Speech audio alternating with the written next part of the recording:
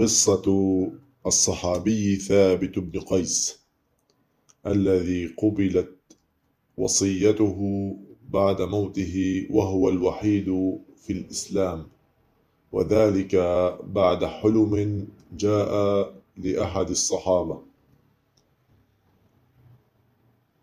يحكى أنه لما أنزل الله تعالى قوله يا أيها الذين آمنوا لا ترفعوا أصواتكم فوق صوت النبي.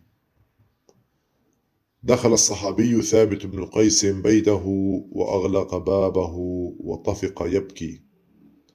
ففقده النبي صلى الله عليه وسلم فأرسل إليه فسأله فقال: إني رجل شديد الصوت أخاف أن يكون قد حبط عملي. قال لست منهم تعيش بخير وتموت بخير. أيضا ولما أنزل قوله تعالى إن الله لا يحب كل مختال فخور.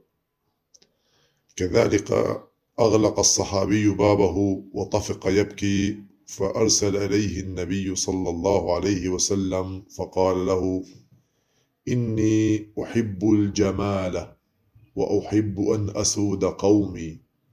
فقال له الرسول صلى الله عليه وسلم لست منهم بل تعيش حميدا وتقتل شهيدا ويدخلك الله الجنة. فلما كان يوم اليمامة خرج مع خالد بن الوليد إلى مسيلمة الكذاب. فلما التقوا وانكشفوا أمام جيش مسيلمة قال ثابت وسالم مولى أبي حذيفة ما هكذا كنا نقاتل على عهد رسول الله صلى الله عليه وسلم؟ ثم حفر كل واحد منهما حفرة فأتيا فقاتلا حتى قتلا. وعلى ثابت يومئذ درع نفيسة. فمر به رجل من المسلمين فأخذها. فبينما رجل من المسلمين نائم إذ أتاه ثابت بن قيس بالمنام. وقال له إني أوصيك بوصية إياك أن تقول هذا حلم فتضيعه.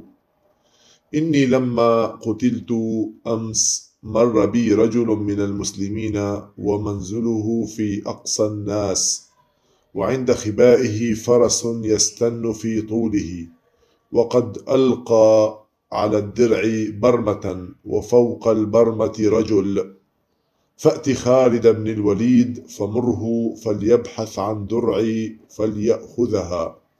فإذا قدمت المدينة على خليفة رسول الله صلى الله عليه وسلم وهو أبو بكر فأتى الرجل عقب منامه خالد بن الوليد فقص عليه المنامة فبعث إلى الدرع فأتي به. وحدث أبا بكر رضي الله عنه برؤيا الرجل فأجازه وصيته ولم يعلم أحد غير ثابت بن قيس تم تنفيذ وصيته بمنام رآه أحد الصحابة وهي أغرب قصة فقه وأغرب قصة وصية بعد الموت مرت في التاريخ الإسلامي.